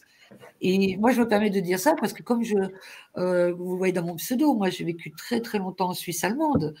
Et comme tu dis, euh, Pierre-Yves, là-haut, euh, il y, a une très forte. moi, je ne fais pas de différence entre la religion musulmane, la religion catholique et la modernité. Enfin, c'est exactement pareil. C'est des fruits de la modernité, l'islam et la religion catholique aujourd'hui. Oui, mais ce que les, je les, les traditions dégénèrent. En gros, les traditions dégénèrent il y a eu une société traditionnelle musulmane, mais c'est plus le cas aujourd'hui. C'est comme un espèce de vernis ethnoculturel, avec un petit peu moins de retard, un petit peu moins d'avance dans la dégénérescence que nous, parce que c'est une religion euh, plus récente, quoi, c'est tout. Mais euh, ils suivent exactement euh, les mêmes, la, même pente glissante qu'a connu le, le, christianisme, en fait, avec la division, avec les réformes, les réformateurs peux faire des comparaisons entre euh, Abdelwad et euh, Luther, par exemple. Et, tout ça, c'est des signes qu'une tradition, elle est en train de s'effondrer, en fait, en gros. Oui, mais tu vas en Suisse allemande, Pierre-Yves, à l'heure actuelle, les gens ne vont plus à l'église, à part pour se marier. Bon, en plus, là-haut, c'est surtout protestant. Mais malgré tout, le, phénomène euh, traditionnel, ou tout du moins moral, est resté chez les gens. Euh, si tu veux bien, France, on, va continuer avec, euh, avec euh, Pierre-Yves sur la discussion qu'on avait sur, sur Guénon. Et tu remonteras tout à l'heure. D'accord? Tu, veux bien descendre? On, en rediscutera à la fin du live. Ok, il n'y a pas de souci. Je te remercie. Oui, donc on a Zarathustra 2 qui nous dit donc que disait Guénon sur le zoroastrisme? Euh, c'est parfaitement traditionnel, quoi. Euh, je crois qu'il, enfin, en fait, pour lui, euh, le zoroastrisme, l'hindouisme, l'islam, le, christianisme, le taoïsme font partie, sont des, des, rejetons, des bons rejetons de cette tradition avec un grand T, quoi. effectivement, enfin, voilà, ça, Zarathustra, on lui attribue aussi une ancestralité sur la philosophie, euh, une certaine euh, proximité avec la pensée euh, hindoue, mais aussi par contraste. Oui, tout à fait. en tout cas, c'est plus marqué avec les Perses que vraiment avec les Aryas. Bah, et puis surtout, moi, moi, je suis partisan de. Guénon n'en a pas parlé, mais moi, je suis partisan de cette thèse que le zoroastrisme a influencé le, le judaïsme tardif et euh, le, christianisme, quoi. et aussi l'islam à, travers le chiisme. Quoi. C'est, ouais. Euh, et puis même, ça, ça, quand il parle de justesse, de pensée juste, de parole juste, d'action juste, etc., euh, ça, nous, ça, nous, renvoie à des questionnements qui nous touchent encore aujourd'hui. Hein. Bien sûr, bien sûr. Et puis, aussi le, le on n'aurait pas les, les histoires d'anges, du paradis, de l'enfer, de la rétribution. Euh, tout ça, ça nous vient du zoroastrisme euh, dans le. Dans le texte, dans la lettre. Ouais, ouais, parce que par exemple, avant la captivité de, Babylone, et en fait, la bascule, c'est Esdras, c'est le livre euh, d'Esdras. Mm. Et Esdras, c'était un ministre perse donc qui était zoroastrien, à qui on a demandé de, traduire et de compiler, de compiler la Bible. Et à partir d'Esdras, bizarrement, tu as plein d'idées zoroastriennes dans l'Ancien Testament. Quoi. Donc, euh, ouais, d'ailleurs, c'est ce que disait Spinoza. Hein. Il pense que la, Bible a été euh, en partie réécrite euh, sous la tradition d'Esdras. Voilà, ouais. Et c'est là que apparaissent les questions de paradis, d'enfer, de, Satan, de, enfin de, mauvais esprits et tout ça. Quoi. Hein. Mmh, mmh l'angéologie. Euh. On a Tokoyo Nokuni, bonsoir à toi, qui nous dit Quelle connaissance René Guénon dit, alors dit palingénius, ça je ne sais pas, euh, avait-il des cycles palingénisiques? Dit âge astrologique Je pose la question compte tenu du fait que les loges encore guénoniennes sont martinistes. Alors, je n'ai rien compris. Peut-être toi, tu peux. Moi, je vois ce qu'il veut dire, mais oui, oui, c'est tout à fait ça. Ouais, ouais. C'est tout à fait ça. La, la palingénésie, c'est euh, euh, donc c'est pas la réincarnation, c'est la comment on appelle ça la, le, changement d'état euh, d'une âme en fait. Tu vois. Mm-hmm. comment, la transmigration des âmes. Hmm. Et du coup, vu que la pensée bah, symboliste ou traditionnelle, elle est, bah, tu vois, le, haut et le reflet du bas, ou et inversement, tu vois. et donc. Mais quel rapport avec les âges astrologiques, en fait Si, si, si, parce qu'en fait, le, macrocosme et le microcosme euh, sont des reflets l'un de l'autre euh, dans la pensée euh, enfin, guénonienne ou hermétiste ou traditionnelle. Ça, veut dire que, ça, veut dire que, le cycle des âmes, dans, dans, ses modifications de vie en vie, dépend des, de, la trajectoire des astres Et inversement. Et inversement. Les deux, les deux sont, en, sont, en, synchronicité, on va dire. Les deux sont en synchronicité. C'est-à-dire que les, les cycles, euh, je ne sais pas, euh, bah, pour parler comme euh, le, cycle des âmes individuelles, c'est le même que le cycle de l'âme du monde. Tu vois, ah, de l'âme du monde, ouais, d'accord, mais pas de, du mouvement des astres autour de la Terre, enfin dans l'espace. Bah si, quand même, parce qu'il parle, que nous, on a beaucoup de la précession des équinoxes et tout ça. Pour lui, les cycles. D'accord, mais ça veut dire que nous, on aurait une influence là-dessus, d'après lui?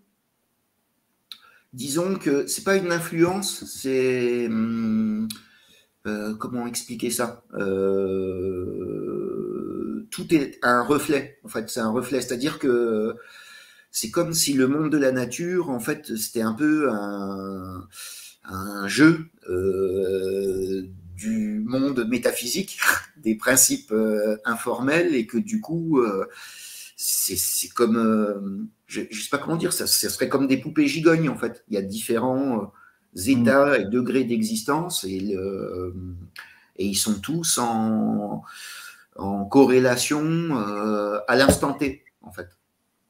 D'accord. Je sais pas si. Donc l'univers serait capable de. L'univers, enfin la, la, galaxie serait capable de reconsidérer le mouvement des astres en fonction de ce qui se passe dans l'âme du monde. Euh, non, parce que c'est déjà tout prévu à la base. Tout est en Dieu, en fait. Tout est déjà euh, prévu. Donc, ah, c'est comme une espèce de, comme un mécanisme, en fait. Comme un mécanisme. Euh, donc, c'est plutôt le contraire. Du coup, s'il y a quelque chose de déterminé, c'est plutôt la nature. et donc, nous, dans cette nature, on est plutôt déterminé plutôt que déterminant. Voilà, tout à fait. On est plus nature naturée que nature naturante. C'est vrai, mais hum, l'homme et la, la nature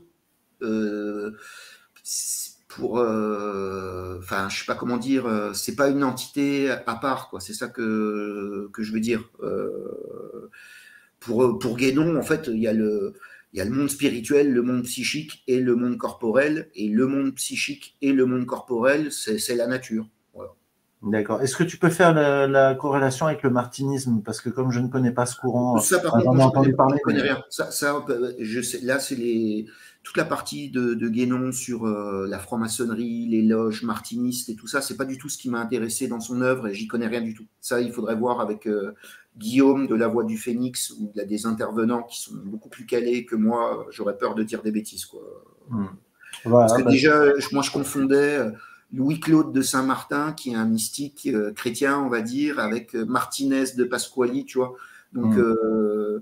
je n'ai pas envie de dire quand je ne sais pas, je préfère pas répondre. Ouais, moi non plus, j'ai aucune connaissance là-dessus. Ça m'a pas spécialement attiré de toute façon. Moi aussi, moi aussi. Au, contraire de Saint-Simon, par exemple. Saint-Simon a été beaucoup plus parlant pour moi. Euh, ben, je connais, euh, je l'ai travaillé parce que j'ai enfin, travaillé un peu sur euh, l'utopie. Et oui, oui, il y a des côtés intéressants. Yaya de Lyon qui nous conseille de lire La crise du monde moderne et le règne de la quantité. Oui, moi je dirais surtout le règne de la quantité. La crise du monde moderne, c'est son, tu peux le trouver en poche, tu vois, c'est son petit, son petit livre, on va dire phare, tu vois, mais bah, le règne de la quantité, c'est une mine d'informations et de, connaissances. Et moi, le livre que je préfère, mais c'est un recueil d'articles, c'est les symboles fondamentaux de la science sacrée, quoi, où il parle vraiment de tous les, le, symbolisme. C'est une mine, euh, je ne sais pas comment on dit d'ailleurs, la, science des symboles, ça, ne se dit pas, la symbologie, je sais pas comment on dit, la symbolique, c'est une mine de symbolique. Voilà, bah, on a fait le tour des questions. Après, on a plus des remarques de la part du chat. des réflexions. Euh, est-ce que tu veux qu'on fasse monter des gens ou comment tu vois la suite là? Est-ce que tu non, euh, comme, tu veux. Si tu avais euh, d'autres choses à redire sur sur Guénon. Bah, en fait, ouais, c'est que, enfin moi, c'est sa critique de l'ontologie surtout que je trouve pas fondée. C'est-à-dire qu'il faudrait aller au-delà de la rationalité, mais si tu enlèves la rationalité, il reste quoi? Finalement Parce que tu peux dire à, partir de ce moment-là, tu peux tenir n'importe quel discours postmoderne. En fait, ça tient aussi bien. Hein. C'est vrai, c'est le danger. C'est pour ça que je te dis qu'il n'a pas porté que des bons fruits, euh, Guénon, et que ça a perdu beaucoup de monde. Et ça, je te rejoins là-dessus. Par contre, lui, il est dans une optique euh, initiatique. Donc pour lui, c'est une, euh, influence spirituelle. C'est-à-dire que la connaissance, la réalisation spirituelle, elle se fait de haut en bas, en fait, et pas de bas en haut, en fait. C'est pas l'homme euh, c'est-à-dire que lui, il est dans une optique de, vide intérieur pour recevoir un influx euh, spirituel. C'est, ça ce qu'il appelle l'intuition intellectuelle et qui il n'a rien à voir avec euh, l'intuition chez Bergson. Est-ce que cette pensée-là, c'est pas un peu la base du New Age finalement? Il y a pas mal de côtés, c'est vrai. En fait, c'est disons que parce que lui, ça a été un énorme critique hein, du New Age et il le critique sur plein plein de points. Mais euh, je dirais peut-être pas la base du New Age, mais la base de pas mal de dérives euh, pseudo-initiatiques. Euh, c'est-à-dire que parce qu'on retrouve Blavatsky là-dedans aussi dans cette démarche.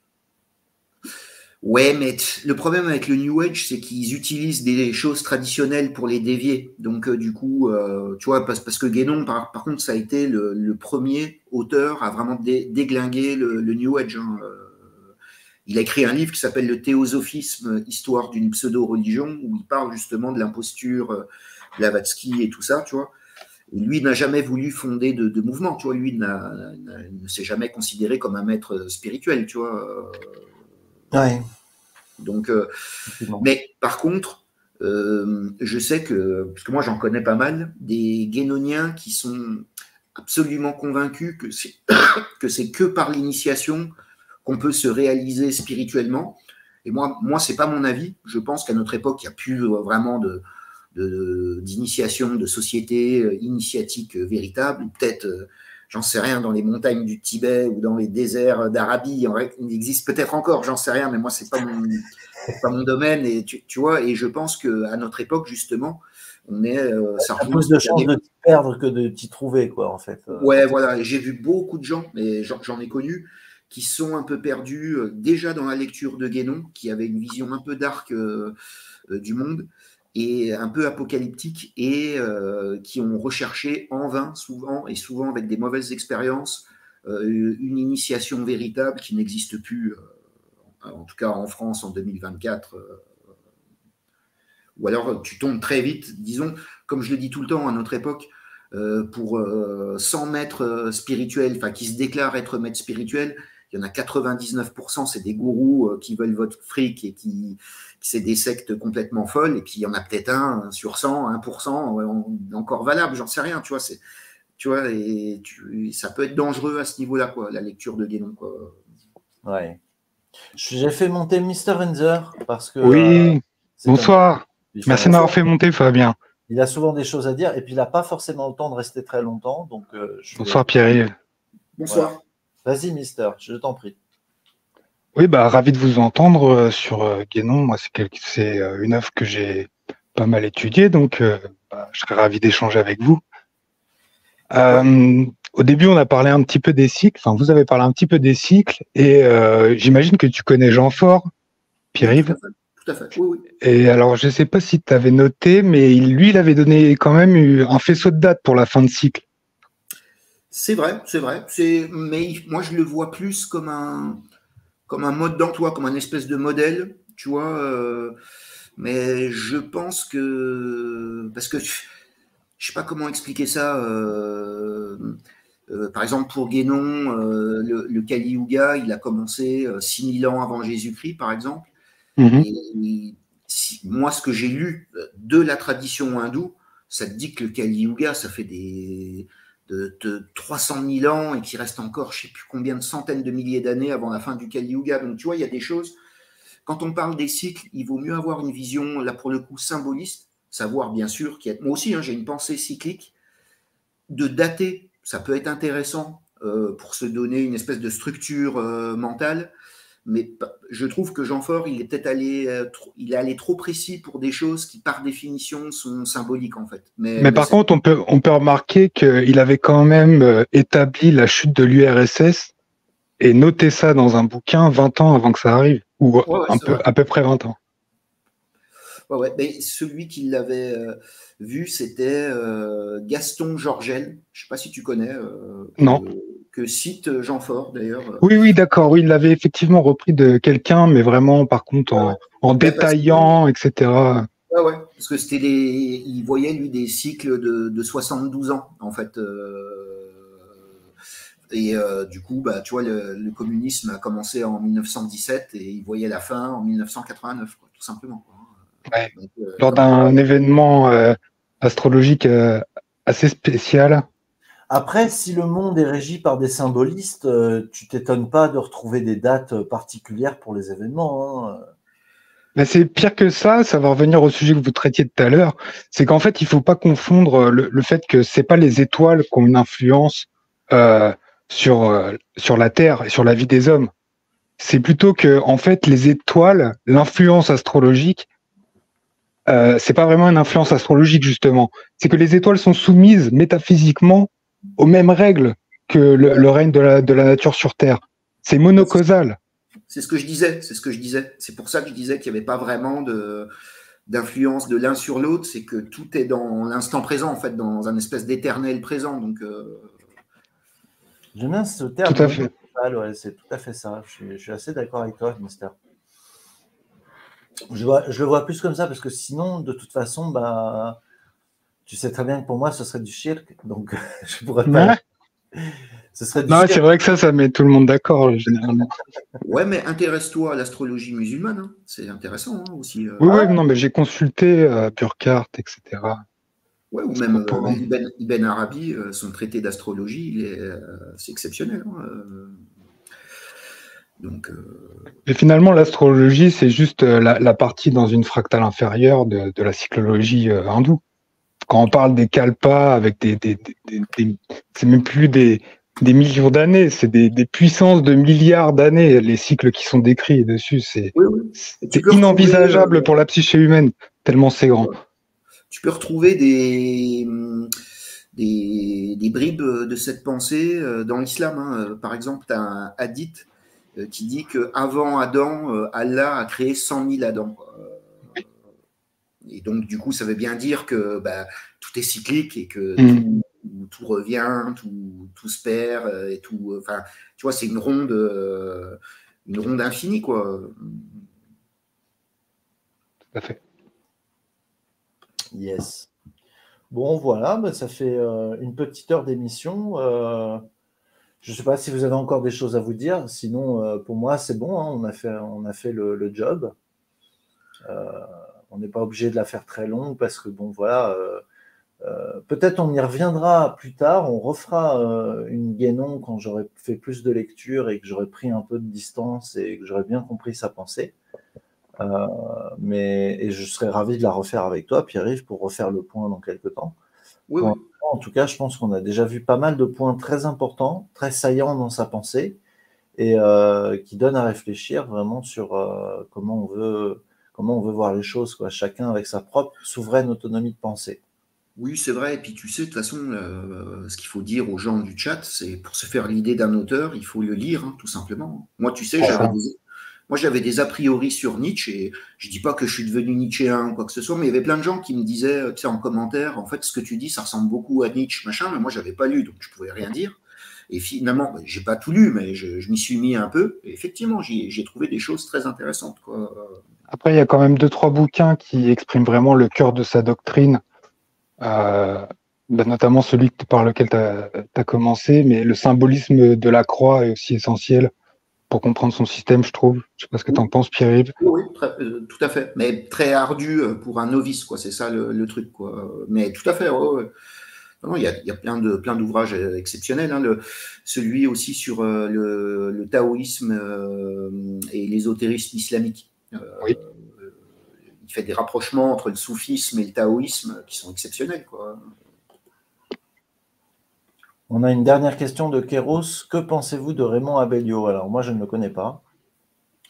Euh, ben, moi, je, connais un petit peu. C'est un, euh, on peut dire, c'est un auteur euh, traditionnaliste, je crois, chrétien, catholique. Et bah, pareil, j'ai pas assez lu. donc, a priori, bon auteur. Hein. Parce que j'ai lu, par contre, justement, Grégory Tiki Viracocha il met souvent des citations sur son onglet communauté et tout. Et tout ce que j'ai lu de, Raymond Abellio, ça me semblait très intéressant. Ok. Bon, bah voilà, bah écoutez. Euh, Avec notamment une extension du, symbolisme de la croix Guénon à travers son livre euh, La structure absolue. Donc ça rejoint ce dont on parlait avant concernant Raymond Abellio. Il a essayé de poursuivre un peu ce travail. J'en ai, j'en ai pas fait la lecture, mais euh, c'est quand même, en fait, il a mis en image ce que décrivait Guénon dans le symbolisme de la croix. Un polytechnicien aussi, euh, apparemment quelqu'un de très. Voilà, quoi, une sommité quand même. non, non, je pense que c'est intéressant. tout à fait. Voilà, donc euh, France, si tu veux remonter, si tu as des questions sur René Guénon, euh, sinon on va clôturer le live. Bon, on peut se faire encore une petite demi-heure, euh. Enfin, à moins que tu étais à bouger ou quoi, mais. Euh. Non, pas spécialement, ou alors on, traite de toutes sortes de sujets, on fait plutôt en, antenne libre pour cette seconde partie, puis là on dérive, quoi. Oui, bon, pourquoi pas, pourquoi pas. De toute façon, euh, c'est pareil, soit euh, sur l'œuvre de Guénon, soit on fait un truc universitaire, vraiment, euh, il a écrit ça à telle date, à tel âge, machin.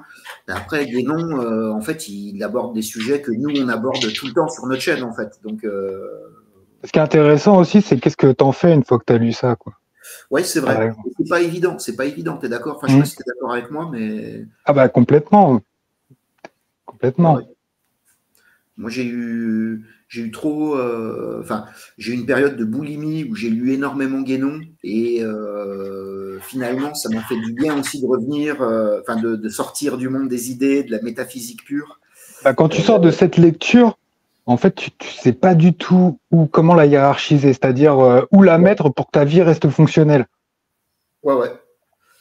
Non, je suis, je suis 100% d'accord. Et et ça, on peut pas lui en vouloir, quoi. C'est Guénon, c'est pas un psychologue. Le gars, c'est un logicien, métaphysicien, quoi. Mais Complètement, ouais. Et un peu trop hors sol, quoi. Euh, surtout, et ça, moi, je me fais ma propre critique, c'est que Guénon, lui, il est né à la fin du 19e siècle. Euh, il n'a pas eu les, les, mêmes enseignants que moi à l'école. Enfin, je veux dire, c'est un gars qui connaissait plein de langues. Euh, ah oui, non, on est, on est, euh, non, des idiots complets. Le, le, mec, il enseignait la philosophie, il a écrit un bouquin qui s'appelle Les principes du calcul infinitésimal. Bah, celui-là, il fait un peu mal à la tête aussi. Voilà, je pense aussi un truc, c'est que Guénon, c'est un 100, 150 de QI qui. Oui, oui, complètement. Des 100 de QI, quoi. Donc, bah, de toute façon, tu as dû remarquer ça, il a une écriture spéciale, Fabien. Sais pas si t'es là, Fabien. Ouais, ouais, ouais, effectivement. Mais encore, pour moi, c'est lisible. C'est pas plus compliqué. Que non, non, c'est très lisible. Non, mais en fait, moi, je trouve que quand tu as pris goût, en fait, c'est vraiment, c'est une façon d'écrire. Moi, je la trouve incroyable. Je trouve que ces phrases, elles sont millimétrées. C'est des, des œuvres d'ingénierie, en fait. Oui, oui. Ouais, c'est vrai. Ça peut rebuter certains parce qu'il y a un côté très froid, très logicien. Mais moi, moi que j'aime beaucoup, hein, moi, euh, euh, aussi également. Mais tu retrouves souvent ça en philo et même chez Souravardi, tu as des trucs aussi très, euh, très techniques. Hein. Hmm. Je suis un gros amateur de, de Souravardi, le livre de la sagesse orientale, que je recommande à tous ceux qui veulent la version islamique de, Spinoza. Euh, moi, j'ai le, bah, moi, je l'ai pas lu celui-là. Moi, j'ai lu le, j'ai l'archange empourpré je ne sais pas si tu connais de Sowahardi, quoi, euh, traduit par Henri Corbin, quoi. C'est exceptionnel, quoi. C'est magnifique.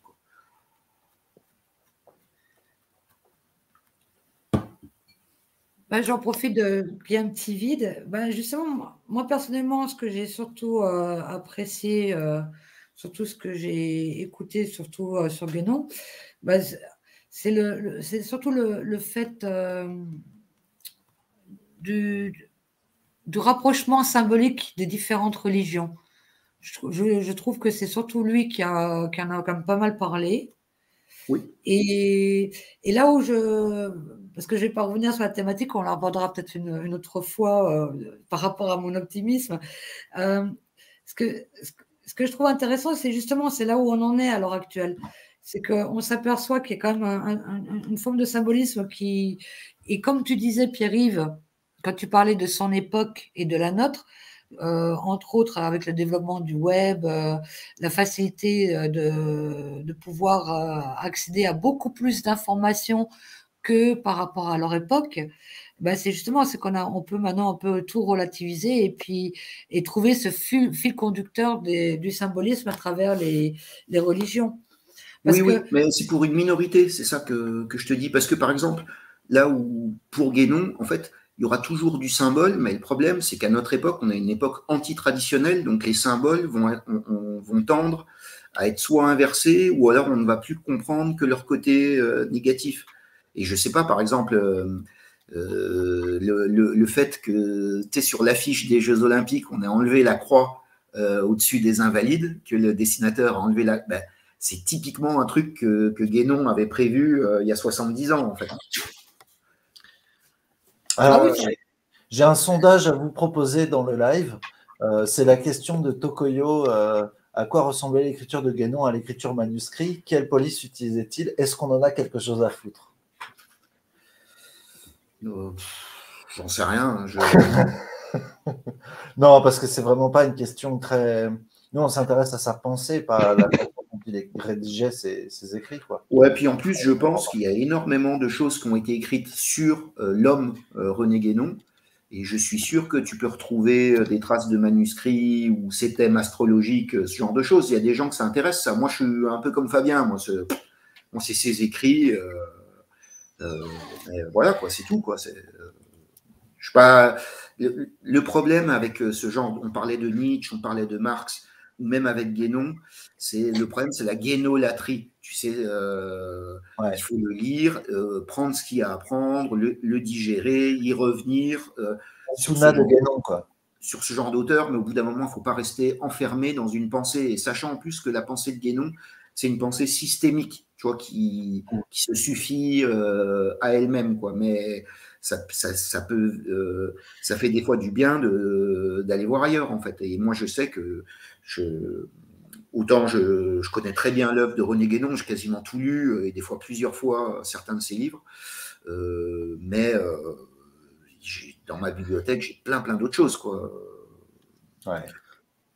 Et, puis aller, justement... aux, aller, aux sources directement. Hein. On parlait de Zoroastre, il eh ben, faut lire euh, les Gata, il faut lire euh, l'Avesta. Euh, maintenant, c'est allez-y, allez-y, faites vos recherches, hein, utilisez oh. Internet. Hein. On n'est pas, on n'est pas Internet, nous, on est des êtres humains. Donc, vous avez des questions, vous les posez à ChatGPT. Merci, voilà. non, mais je suis sûr qu'en plus, si tu mets manuscrit René Guénon dans Google Images, je suis sûr qu'on doit avoir des, des, photos de ses manuscrits et de voir son écriture. Parce qu'il y a des gens c'est vrai qu'ils s'intéressent à l'écriture euh, des auteurs, tu sais, à, euh, qui font leur, euh, oui, psychologie. Je ne sais plus comment ça s'appelle. Ouais, non, non, ça peut être intéressant, bien sûr, sa façon d'écrire. Mais de là à utiliser une police d'écriture, je pense pas. On n'utilise pas une police d'écriture, on, écrit. Quoi. On, a, on a tous une façon à nous d'écrire. Enfin bon. Justement, pour ma conclusion, c'est aussi un, point intéressant que j'aimerais bien euh, rapidement soulever, c'est qu'il ne faut pas oublier aussi que la façon de penser, euh, que ce soit de Nietzsche, de, Marx, de, Hugo, etc., ce n'est pas la même temporalité que la nôtre. Et c'est ça aussi que je trouve très intéressant parce que des fois, quand j'écoute beaucoup de live, quelle que soit la thématique, les, gens oublient euh, souvent que bah, c'est la, beauté et, aussi un peu, euh, bah, il, y a, toujours du positif et du négatif dans tout, c'est que justement, c'est que la beauté de notre temps, c'est qu'on est quand même beaucoup plus flexible intellectuellement avec l'information que avant. Avant, à l'époque, que ça soit euh, même un, politique comme Hitler ou même Napoléon ou Alexandre le Grand, euh, bon, je ne vais pas m'avancer avec Alexandre le Grand, mais c'est que l'être humain, il, tenait à ses idées jusqu'à la mort. Alors que de nos jours, on, peut être plus flexible dans notre façon de penser, bah parce que aussi un peu notre système d'éducation et puis euh, l'accès à l'information, la, euh, surtout depuis les 20 dernières années, qui est beaucoup plus facile et rapide. Mais avant, il y avait, il y avait, euh, ils avaient aussi une forme de dogmatisme par rapport à leur propre pensée. Ah, oui, mais ça, quand tu es là où... orientaux, notamment islamiques, tu t'aperçois qu'ils changent beaucoup d'école et qu'ils ne sont pas toujours d'accord avec ce qu'ils ont écrit avant. Donc pas je, suis désolé, hein, France, la Suisse, je ne suis pas tout à fait d'accord, hein, parce que vraiment, la, un monde traditionnel, la pensée traditionnelle, c'est un monde euh, où tout est expliqué euh, par le mythe ou par l'histoire sacrée et euh, donc du coup qui est incontestable. Quoi. Euh, et donc euh, le fait de plus avoir de tradition fait que maintenant il y a des ismes, des idéologies, des partis, des trucs, chacun peut raconter la sienne en gros, et ça, ça, amène le nihilisme en fait. C'est pas quand tu dis il y a plus de. C'est parce que les gens ne croient plus en rien, ne sont pas prêts à mourir pour une idée que notre monde est complètement con en fait et débile. Tu vois ce que je veux dire? Oui, c'est justement, c'est ce que je, non mais c'est ce que je voulais dire, c'est que euh, on, on, oublie malgré tout parce que comme tu disais Fabio, oui, il y avait quelqu'un qui avait euh, qui avait évolué euh, par rapport à, à, ses premières idées. Je dis pas qu'avant ils n'étaient pas capables non plus, mais c'était pas non plus la même. le monde environnement, les sociétés n'étaient pas comme n'étaient pas comme à l'heure actuelle. Disons que jusqu'aux classes moyennes, euh, les classes moyennes comprises, euh, ça bougeait pas. Mais quand tu prenais les classes supérieures, les savants et tout, euh, ça pouvait évoluer beaucoup. La différence, c'est qu'on a un accès au savoir par l'école qui nous a été euh, diffusé à partir de la Troisième République, qui fait que on a des classes moyennes plus, plus fortes, plus importantes, et, et, qui sont massivement plus cultivées que, en tout cas dans les pays occidentaux et asiatiques, que dans, tu vois, dans, dans les sociétés de, de pré-modernes ou, ou, médiévales. Ouais, mais c'est une culture de façade. Ouais, c'est de l'intellectualisme à deux balles. Parce que, voilà. Mon, grand-père, mon grand-père, euh, qui n'était pas quelqu'un qui a fait des études, qui a toujours été paysan, euh, quand, quand, sa voiture tombait en panne, il réparait le moteur. Quand sa toiture était pétée, il savait faire un toit. Euh, tu vois ce que je veux dire? Il savait faire accoucher des vaches, euh, sûrement, euh, je sais pas, des, des femmes, enfin, j'en sais rien, ou il savait faire pousser des légumes, enfin, il savait tout faire, en fait, en gros, sans être allé à l'école. Donc, il faut savoir, en fait, on est des, on est des êtres de culture à notre époque, mais de la culture mondaine, quoi. Tu sais, ce qu'on appelle la, la, culture générale, quoi. Mais est-ce que ça sert vraiment dans la vie réelle, quoi? Bah, justement, tu, tu mets le, le, doigt dessus, Pierre-Yves, parce que quand tu parles de ton grand-père, euh, c'est d'ailleurs un peu notre problématique, c'est comme, euh, surtout à travers le web, on sort beaucoup trop de, de la vie réelle. Et, et quand je parlais de, de ce, quand je parlais de certains personnages, il ne faut quand même pas oublier que les, les, philosophes, euh, les écrivains, c'était des, des, comme des, des gens euh, oisifs au niveau social. C'était pas justement les, ils, étaient, ils faisaient partie déjà d'une caste. Euh, et ça, ah bah, les philosophes actuels, oui, mais pas les philosophes anciens. Hein. Euh, Nietzsche, il, était brancard, il a été brancardier pendant la Première Guerre mondiale. Euh, je sais pas, Platon, ça veut dire l'homme aux épaules larges parce qu'il était soldat. Enfin, tu vois, non, non. Ah, les... Il était médecin, il savait. Corel, il était empereur. Enfin, tu vois, il y, a, il y a plein de philosophes. Ou alors, il y a les philosophes, mais c'est aussi un travail individuel de malade. C'est une autre vie, c'est tout ce qui est euh, bah, les, reclus, quoi, comme, comme les moines, les saints, euh, certains grands maîtres spirituels euh, orientaux qui se sont complètement retirés du monde. Mais, mais ça, ça demande un effort surhumain. Mais le, concept du, philosophe, excuse-moi juste, le concept de l'intellectuel ou du philosophe oisif, moi, je vois Bernard-Henri Lévy, je vois Michel Onfray, et ça, c'est pas des philosophes, c'est des, des, philosophes aïeux, quoi. Enfin, c'est pourri, quoi. marchand de canon en plus. Donc bon. Oui, euh, quand je prends Eliphas Lévy, par exemple, il avait une trajectoire. Au départ, il se, il se, il se destinait aux fonctions ecclésiastiques. Et puis finalement, il s'est tourné vers l'ésotérisme. Donc ça a changé sa trajectoire. Euh, Peut-être qu'il a été un peu oisif aussi dans sa jeunesse, oui, parce qu'apparemment il a été influencé par des, histoires d'amour un peu tragiques. Euh, à Guénon, il a ce côté-là aussi. Guénon, il a ce côté-là, mais parce qu'il vient d'une famille euh, assez aisée. Et lui, quand il, a décidé de partir en Égypte, c'était après le, décès de, sa femme. Il était euh, marié de, de, catholique, quoi, on va dire. Sa femme est décédée. Et lui, il a eu la chance de tomber sur une euh, aristocrate euh, anglo-saxonne euh, qui a été son mécène. Tu vois, lui, il n'a pas eu besoin d'ouvrir de Tipeee, René Guénon. il avait une américaine qui finançait un peu. Là. Ouais, ouais, puis aussi, une anglaise. Mais après, par contre, Guénon, on ne peut pas dire que c'était quelqu'un d'hors sol. Euh, déjà du fait qu'il a eu euh, quatre gamins après une fois qu'il est arrivé en Égypte, il a fait un gamin avec une femme plus jeune que lui, il a eu quatre enfants, donc il a été quand même, euh, c'est pas comme Nietzsche ou Schopenhauer, tu vois, qui étaient un peu entre guillemets des mages noirs, quoi, les gars. Mm. Ou Kant, tu vois, qui était même presque névrosé et qui avait un problème avec, avec la sociabilité, quoi, on va dire, quoi. Ouais. mais bon, dans l'histoire de l'humanité, le, la connaissance n'était pas quand même malgré tout, euh, à part comme, comme, tu dis, la connaissance euh, adaptée au réel et à la vie quotidienne, euh, la connaissance était quand même à la base, c'était transmise qu'à certaines castes sociales. Oui, il y avait une division sociale du travail. D'ailleurs, on parlait des, des trois ordres avec Pierre-Yves la dernière fois. Oui, oui, tout à fait. Mais je, je, vois ce que tu veux dire, mais euh, tu recevais, parce que tradition, ça veut dire transmettre, tu recevais aussi la tradition, entre guillemets, de, ta caste. C'est-à-dire que les, castes, on va dire, sacerdotales, spirituelles, elles recevaient un enseignement, c'était eux les lettrés. Euh, la classe chevaleresque recevait un enseignement militaire, euh, un art de la, guerre. Les, artisans ben, apprenaient un métier. Et puis, bah, le peuple, quand on dit le peuple, c'était quoi? C'était des, paysans euh, dans l'ancien monde. Jusqu'à la génération de nos grands-parents, la majorité des Français, ils étaient paysans.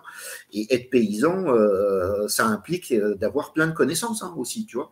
Après, oui, c'est pas des connaissances livresques qui connaissaient pas Platon, mais, ils savaient planter des carottes. Et c'est important à savoir faire ça. Quoi. Ah, ils, avaient, aussi même une science, ils avaient leur, leur science un peu quand je vois avec les lunes, etc., les saisons, enfin, ils étaient vraiment au contact du ciel, en fait. Bien sûr. Euh, on touche à un point très intéressant euh, qui pourrait être posé aux historiens. C'est euh, la chasse aux sorcières est-elle l'expression d'une lutte de classe? Ce serait très intéressant. sans doute, à certains moments, ouais, sans doute. C'est pas impossible, mais par contre, ce qu'on appelle la chasse aux sorcières, en plus, on a fait un mauvais procès au Moyen Âge. La, chasse aux sorcières, elle est arrivée en pleine période de cartésianisme. Euh, enfin, tu sais, c'est pendant la Renaissance. Hein, euh, c'est 16e, 17e euh, siècle, hein, la, chasse aux sorcières. Donc, à une époque où, soi-disant, c'était les lumières de l'esprit qui combattaient les ténèbres de, l'ancien régime et tout ça, ouais, on cramait des sorcières. Et je pense, ouais, ouais, que, en fait, c'était plein de femmes euh, qui connaissaient des, vieux trucs ouais, sur la Lune, sur les plantes et tout. Et puis tu as un espèce de rigorisme euh, qui est arrivé euh, dans, le, catholicisme et puis un puritanisme qui est arrivé exactement comme aujourd'hui avec l'islam où, je sais pas, tu peux te faire lapider parce que euh, pour un regard ou pour un truc comme ça. Vous voyez ce que je veux dire? C'est que euh, la chasse aux sorcières, elle est arrivée à une époque de, à une époque de rigorisme, en fait, à, l'époque aussi du protestantisme. C'était surtout dans les zones protestantes qu'on a cramé le plus de sorcières. Quoi. Bah, en fait, c'est des manifestations de, de, dégénération. Quoi. Oui, C'est-à-dire, c'est quand on accorde plus d'importance au, au symbole, qu'est-ce qu'il représente? Oui, oui, c'est vrai. Mais je pense que la majorité des sorcières qu'on a cramées, il, y il, devait y avoir des sorcières, des, mages noirs, des, mais euh, la majorité des sorcières qui ont été cramées, euh, c'était des petites meufs qui connaissaient les plantes et, ou qui lisaient dans, dans, la main, qui faisaient de la chiromancie. C'était pas bien méchant, quoi, en gros. Je pense qu'elle. Ouais, les dernières traces de paganisme. Euh, voilà. voilà, voilà D'ailleurs, les alchimistes n'ont pas été si inquiétés que ça pendant tout le Moyen Âge, hein, donc euh, ça prouve bien que quand c'est fait, on s'en les noix, quoi. C'est quand c'est des paysans que ça gêne. Ben, même je pense que c'était un hobby aussi. Hein. Pour toutes les, pour toutes les têtes couronnées, c'était un peu un hobby. Oui, mais en fait, non, c'est une science traditionnelle, l'alchimie. Comme, et comme on parlait de l'astrologie tout à l'heure, l'astrologie traditionnelle, par exemple, il y a plein d'alchimistes musulmans euh, ou plein d'astrologues musulmans à l'âge d'or de, de, la religion musulmane qui coïncide aussi au Moyen Âge. Aujourd'hui, tu te dis faire de l'alchimie ou astrologue dans un pays musulman, tu vas, tu vas mal finir. Hein. Euh, alors, que même euh, l'alchimie, c'est presque, elle a été, là pour le coup, il y a un apport extraordinaire euh, du monde musulman sur le monde occidental hein, en alchimie. Quoi. Plein de mots d'alchimie proviennent de l'arabe hein, d'ailleurs. et ça, aujourd'hui, tu dis ça à n'importe quel musulman, il va te dire non, mais c'est haram c'est des sciences occultes, euh, c'est de l'associationnisme, alors que pas du tout. Euh. Euh, Tokoyo Nukuni, je te propose d'aller faire une recherche biographique et bibliographique sur René Guénon, parce que nous, on n'est pas non plus des puits de science, on ne s'appelle pas Maître Capello, donc on ne peut pas répondre à toutes tes questions. Il y a Internet pour ça, n'hésite pas. Voilà. Désolé, excusez-moi. Non, mais par contre, il dit des trucs intéressants. Moi, je sais pas ce que c'est le Xiu Dao, euh, personnellement. Et, initié au taoïsme, non. Euh, enfin, disons que son, il connaît le taoïsme parce qu'il avait un ami qui s'appelait euh, Albert de Pourville et son pseudonyme c'était Matt Joy.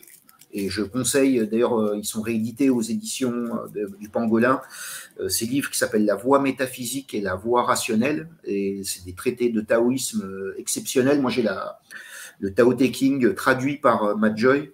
C'est vraiment, je pense, le plus grand spécialiste français du taoïsme. Et Guénon, c'était un ami à Albert de Pourville, à cette personne. Donc, c'est sûrement comme ça qu'il connaissait le taoïsme. Ouais. Eh ben, c'est pas ça que les. C'est encore. Encore une chose que Poutine n'aura pas. Voilà, comme je dis toujours. ça, c'est mon expression.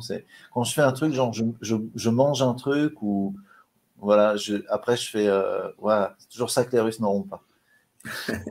bon, bah, voilà. C'était euh, tu disais, euh, quand tu parlais de la chasse aux sorcières, tu disais le siècle des Lumières. Moi, j'aurais plutôt mis à la Renaissance. Parce que siècle des Lumières. Oui, oui, non, non, mais bien, bien sûr, mais euh, c'est à la Renaissance, effectivement, mais c'est 16e, 17e siècle, la chasse aux sorcières, mais c'est l'époque de Descartes, du cartésianisme et que de, des prémices du, scientisme et de la pensée euh, rationaliste, en fait. Mais comme euh, toujours sur Terre, en fait, il y a toujours des dialectiques sur Terre, et à l'époque où on se pique le plus de science, de rationalisme, on remet en cause euh, euh, euh la Terre au centre euh, du monde, enfin, il y a plein de, signes aussi qu'on passe d'un monde à un autre, ben, on, sombre là dans l'intolérance et dans le, dans le rigorisme absolu. Quoi parce que toi, moi, moi, c'est amusant parce que là, tu, tu, mets ça en corrélation avec un peu euh, bah, des etc. Alors que moi, j'aurais mis plus euh, euh, par rapport à une période d'assises flamboyante bah, de l'Église catholique. Et justement, c'était pour moi plus pour combattre les, dernières, les dernières relations du paganisme, surtout en, en France, entre autres. c'était plus par rapport à ça. Moi, moi j'avais je l'avais classé comme ça plutôt dans ma tête, toi, plus que. Euh, j'ai pas. Mais bon, ce que tu dis, c'est, ça, rentre dans la même logique, hein, on est bien d'accord. Oui, non, mais c'est ça en plus euh, que je dis. Euh, oui, c'est que le, l'autorité spirituelle a dégénéré, elle est devenue puritaine et rigoriste, quoi, notamment sous l'effet du, protestantisme. Et ça, c'est un signe de, dégénérescence, oui, de, l'Église catholique. Alors que les sorcières au Moyen Âge euh, déjà, elles avaient, euh, elles avaient leur, presque leur place dans la société, elles étaient toutes seules dans la forêt, on les laissait tranquilles. Euh, on allait les voir quand on avait des, problèmes d'érection ou genre de trucs, tu vois.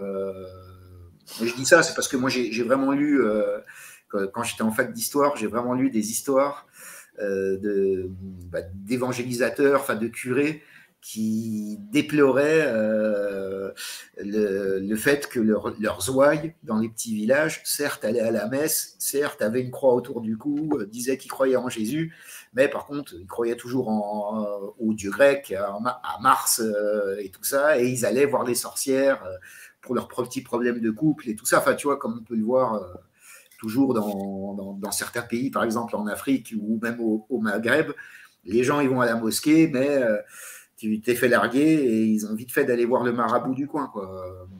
Ah ouais, ouais, Ça, c'est tout à fait humain, ça, c'est tout à fait humain. Euh, je dis juste ça. Euh, moi, j'avais lu un livre d'un folkloriste qui s'appelle Saint-Yves, et donc c'est au 19e siècle en 1800 et quelques, euh, dans certains villages français, tu avais des, pierres, euh, donc des, espèces de, dolmens ou de menhirs, où les femmes qui voulaient avoir des enfants se frottaient le ventre sur les pierres. Tu vois ce que je veux dire? Encore au 19e siècle. Hein. donc euh, l'évangélisation des campagnes, je crois qu'elle n'a même pas vraiment été complète, hein, en fait. Hein. Il y avait encore du paganisme vivant au 19e siècle, et des superstitions paysannes. Ouais. ouais. Ce, qui, ce qui explique pourquoi euh, euh, on a eu euh, de manière aussi précoce le mouvement néo-druidique qui est apparu en même temps que la franc-maçonnerie en pleine guerre de religion. Oui, oui. Non, non, mais bien sûr, bien sûr. Bah, de toute façon, comme on dit, la nature a horreur du vide, bah, la nature humaine, elle a horreur du vide spirituel. Quoi. Donc, les, les, êtres humains, c'est des homo religiosus et même quand une grande tradition, une religion euh, s'effondre, il y aura toujours des sectes, il y aura toujours euh, des. Ce que, ce que Guénon appelle des pseudo-religions, des pseudo-traditions hein, qui vont euh, émerger instantanément. Tu me permets, Pierre-Yves, je t'aurais bien posé une question. Oui. moi, ça m'intéresse de savoir comment est-ce que toi, tu as reçu en fait l'œuvre de Guénon, dans le sens où on en parlait un petit peu tout à l'heure, ça, te donne, en fait, c'est générateur de sens. C'est-à-dire là où il y a le chaos, tu reçois cette œuvre et là, tu as un outil où tu vas arrives à hiérarchiser les, choses d'une certaine manière, où tout a sa place et tout finalement euh, prend du sens. Oui, bah c'est ça. En fait, moi, le truc, c'est que depuis l'adolescence, je suis un passionné de mythologie, de symbolisme, et je me pose énormément de questions par rapport euh, bah, au sacré, quoi, ou même à la religion, euh, si on veut. Et donc, moi, j'avais tout un bagage et j'ai, plus lu, tu sais, des anthropologues euh, ou des gens comme Mircea Eliade. Et j'ai dû tomber sur du Guénon euh, bah, par hasard quand j'étais à la fac. Et j'ai surtout lu Guénon, je sais pas, entre 25 et 30 ans. Et donc, ça n'a pas été une illumination, mais comme si tout se mettait en place, de toutes mes intuitions premières, en fait, elles ont eu une, une réponse. J'allais dire même ça, de ça a validé des choses. Ouais, ouais, même l'école euh, pérennialiste en général, parce que moi j'aime beaucoup aussi euh, Julius Evola et d'autres euh, auteurs.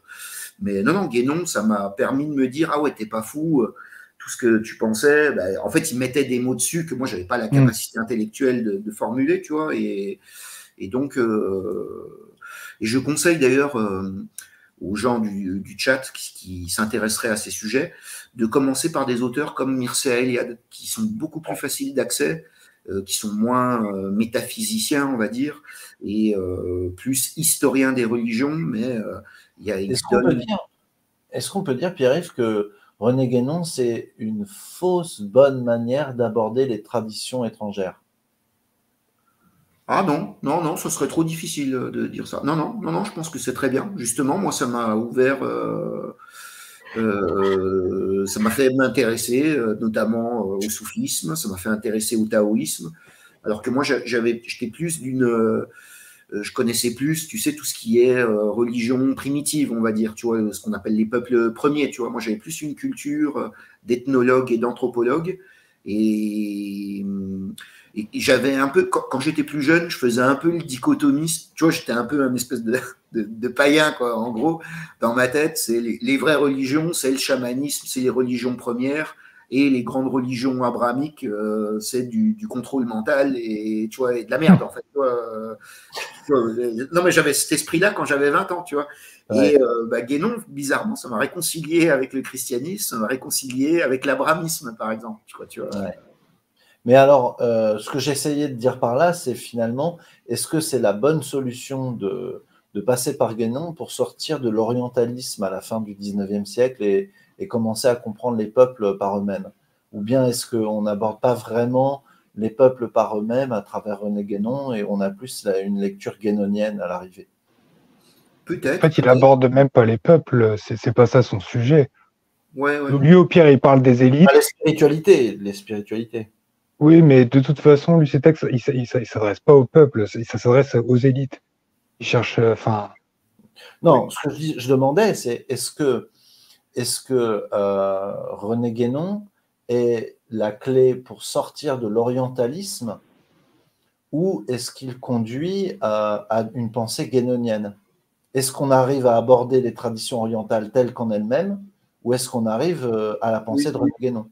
Oui, oui, oui, De toute façon, ça a été un gros critique de l'orientalisme. D'ailleurs, euh, enfin, moi qui aime beaucoup l'hindouisme, euh, son livre L'homme et son devenir selon le Vedanta, euh, c'est, je pense, le, le meilleur écrit en français euh, sur euh, la tradition euh, védique, quoi, on va dire, euh, l'hindouisme, euh, euh, où il remet les choses à sa place. Non, non, Guénon, par exemple, euh, vu qu'en plus il critiquait aussi le New Age, euh, il t'explique qu'est-ce que c'est le karma, quoi. Que, tu vois, des, des, toutes les notions complètement galvo. Qu'est-ce que c'est que le yoga? Qu'est-ce que c'est que le karma? Qu'est-ce que qu'est-ce que ça veut dire pour un hindou euh, ces termes-là, quoi? Et qu'est-ce que les occidentaux en ont fait et que, comment ils les ont dénaturés ces notions, quoi. En gros. Ouais, ouais.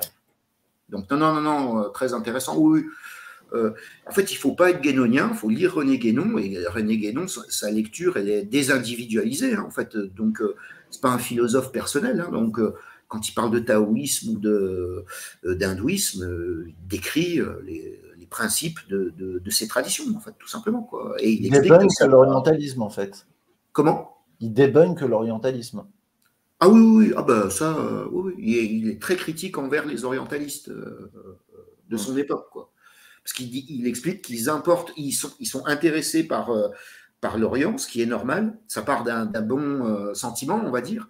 Mais par contre, ils reviennent en Occident nous ramener de, de, de l'Orient déformé, en fait, à part des préjugés. Que L'Orient des- ouais, digéré par l'Occident. Ouais, voilà, ouais. Et ça, il l'a critiqué fortement, ouais. En fait, on essaye toujours de le faire passer pour euh, des choses qui, contre quoi il s'était prémuni. On- il- Il avait dit qu'il n'était pas orientaliste, il a dit qu'il n'était pas philosophe. Tu as toujours des noms de rue, euh, René, euh, René Guénon, où c'est signé philosophe, tu vois, enfin, comme son métier. Il n'était pas spiritualiste aussi. oui, oui, euh, en fait, c'est vraiment une blague, cet endroit. Oui, non, c'est un métaph... lui, il se dirait métaphysicien, mais aujourd'hui, qu'est-ce que ça veut dire euh, euh, Et lui, pareil, Guénon a quelque chose qui est très important, c'est qu'il a montré euh, la confusion actuelle entre le psychique et le spirituel, en fait. Où euh, Ouais. les, mots- les mots âme et esprit sont devenus quasiment des synonymes, alors que traditionnellement, ça renvoie à deux réalités bien différentes, quoi. Bon, bah voilà, bah écoutez, les amis, euh, on a fait notre live sur René Guénon comme promis, puis j'espère qu'on se reverra bientôt, Pierre-Yves, pour faire d'autres Oui, émissions, bon. peut-être chez toi. Euh, il est peut-être temps que je, je migre aussi un peu sur, ta- sur ta chaîne pour aller voir ce qui s'y dit. Oui, oui, vas-y, vas-y. Donc, euh, si tu as un thème à me proposer, ben, je, suis, je suis dispo. Ok, Voilà. Bon, bah, les amis, merci beaucoup pour ce live très intéressant. Et puis, je vois que ça a plu à beaucoup de monde. hein. On, est, on est plus nombreux que d'habitude aujourd'hui. Donc, euh, voilà, c'était notre spécial René Guénon. Merci Pierre-Yves, merci Mr. Hunter, merci France à Suisse. Merci à vous, bonne soirée. Bonne soirée, le chat. À très bientôt sur et Conscience. Bonne soirée. Eh ben, à bientôt à tout le monde. Ciao, ciao.